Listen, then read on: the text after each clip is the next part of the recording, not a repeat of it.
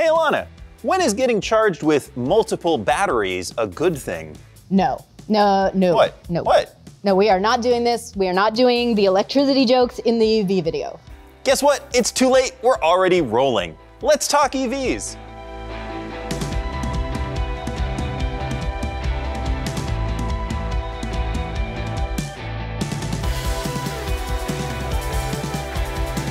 Electric cars are good now. Did you get the memo? Yeah, they have enough range and they're available in enough price ranges that they're a viable alternative for most commuters. Imagine never having to go to a gas station again. Today, we're rounding up the best EVs so you don't have to go charging in blind. Oh man, now I'm doing it. I gotcha. Everything we're going to talk about has been through our full testing and rating process, which you can see more about. Here, there's a link. There's a link Somewhere, here. we put a link Yeah. in. This list includes everything we've tested up until now. Our ratings are updated in real time, so if you don't see the vehicle you're looking for, make sure to check edmunds.com to see if it's there. All right, let's actually talk about the cars. Tesla may have captured consumers' imaginations with its futuristic and pricey vehicles, but there are affordable EVs out there that cost less than $40,000. When the Kona Electric hit the market, it immediately became our favorite new EV. Why? Well, because it's just a car, but better. You get a comfy, practical hatchback with Hyundai's easy infotainment and useful driver aids, only it's faster and more efficient than the gas models. In our testing, the Kona EV was more than a half second quicker to 60 mile per hour than its turbocharged sibling, and all that power is available right off the line, so you don't have to wait for a turbo to spool up or a transmission to wake up. We picked a Kona EV up for our long-term fleet. Really enjoy commuting in ours. I think it's the stereo. It's better than most in the class, although that rear seat is kind of tight for big infant seats. Rear seat infant accommodations aside, we liked the Kona Electric so much, we gave it our Editor's Choice Award for the top EV of 2019. Good job, Kona. This is one electric that won't be wearing the Kona shame. When it launched, the Chevrolet Bolt leapfrogged the competition with its 238 miles of range, quick acceleration, and approachable price. Even with more competitors on the market now, the Bolt's strengths mean it's worth checking out if you're shopping for an EV. The Bolt isn't perfect. The interior is kind of plasticky and it has a unique infotainment system that is just not as good as Chevy's Norm. The lightweight and firm seats aren't very adjustable, and some people around the office felt they were a deal breaker. But your mileage, wattage, may vary. We put 30,000 miles on a Bolt as part of our long-term testing program, and its nimbleness and small size made it a solid choice for the daily commute. One thing that's awesome about the Bolt is its one pedal driving, where lifting off the gas pedal causes the electric motors to slow the car down so you don't even have to touch the brake, and you're recapturing energy while it happens. That is a neat EV trick. For 2020, it offers 259 miles of range, although those few extra miles aren't enough to help it nab the top EV spot from Hyundai. You can find out why on our full video comparison of those two cars. The Volkswagen e-Golf, or e-Golf as no one calls it, is practically a dinosaur in the EV world, having come out way back in 2015. We like the e-Golf for being, well, a Golf. A likable small car with comfortable seats and Volkswagen driving dynamics that make it more pleasant than competitors from behind the wheel. For 2019, the e-Golf is up to 125 miles of range. That's well behind top competitors, but still enough to get most commuters through their day. You also get standard CarPlay and Android Auto, and a generous trunk with folding seats that give the e-Golf plenty of space for cargo. The e-Golf is the affordable EV that feels the most like a regular car, but it's not as torquey and quick as, say, the Kona, and it's definitely down on range. If you're willing to skip the bells and whistles, the e-Golf's base price is pretty affordable, but you'll have to pay extra for things like active safety features.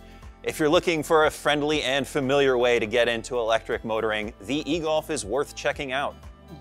Nissan doesn't get enough credit for making the first successful affordable EV. In fact, the Leaf is still the top selling EV in the world. The current generation Leaf, introduced for 2018, is quieter, more comfortable, and more rewarding to drive. And it offers plenty of range. The Leaf steering wheel doesn't telescope, making the car a little less comfortable for taller drivers, and steering feels artificial. But overall, the Leaf has far more strengths than weaknesses, especially if you don't need the chart-topping range offered by the Kona or the Bolt. And if you do, the Leaf Plus variant amps up the range to a competitive 226 miles. Kilowatt hours, not amps. Stay in your lane, Scherr. Hey, Will, are you tired of hearing about the Edmunds long-term test fleet yet? How could anyone ever get tired of hearing about such a valuable resource for shoppers and enthusiasts alike? Good, because we've had both generations of Leaf in our garage. And the second generation really was a big improvement. Even though it was slower, I liked commuting in the Leaf a bit more than the Bolt just for the seats. Although for someone my size, it felt a bit like driving a toy car. Will is actually a lot taller than me and I am standing on a box right now. The Hyundai Ioniq Electric has a low cost of entry, yet it offers all the user-friendly tech we expect from a Hyundai. It also has the most efficient electric drivetrain on the market per the EPA's miles per gallon equivalent, MPGE, which means you'll pay less to keep it charged. The Ioniq isn't the best driving EV, and the rear seat is not particularly comfortable nor roomy, but it gets a shout out for offering a lot of features at an appealing price and for being so efficient. If you want to go green and you want to go all the way, the Ioniq Electric is the current champ. Luxury electric cars aren't just about adding luxury features and performance to the EV formula, they're also about pushing boundaries. Luxury brands work hard to show off their visions of the future to tempt new and younger buyers, like you. The Tesla Model S might be the oldest Tesla in production, but it is still our favorite of the company's three offerings, and it is only now seeing serious direct competition. It combines a roomy, attractive cabin with astonishing speed and outstanding range. Depending on how it's equipped, the Model S can be staggeringly quick in a straight line. The price tag, however, is equally intimidating, and compared to similarly priced internal combustion sedans, it feels a bit unpolished and lacks some of the luxury features like massaging seats. But if you're after something with a Tesla badge or serious bragging rights, the S is the best of the bunch. You know, we've owned all three Tesla models, so you can find out what they're like to live with in our long-term blog. In fact, I did the math and we've given Tesla a total of $295,700. I mean, Elon should really send us a thank you note. The BMW i3 does have the shortest range of any of the luxury electrics on this list with just 153 miles, but it does offer the option of a range extender that gets you up to 200 miles. The i3 is a unique little car, from its funky looks outside to its truly special interior.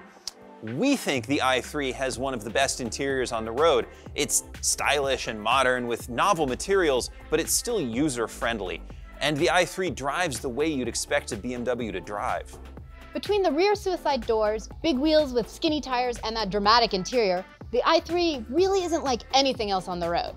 Our long-term i3, yeah, we had one, made a great city runabout. And if you're looking for something a little different from your EV, the i3 is a standout.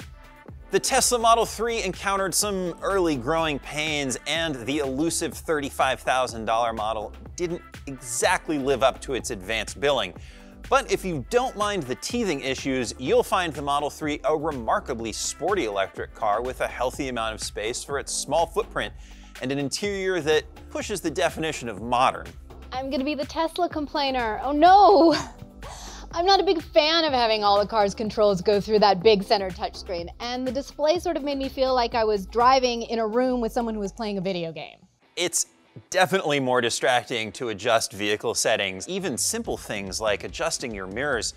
But the Model 3 performed so well in our testing that we had to give it its due. In fact, in a recent head-to-head -head comparison test, our own Carlos Lago said that it was more fun to drive than the new BMW 3 Series. I'm not going to argue with Carlos.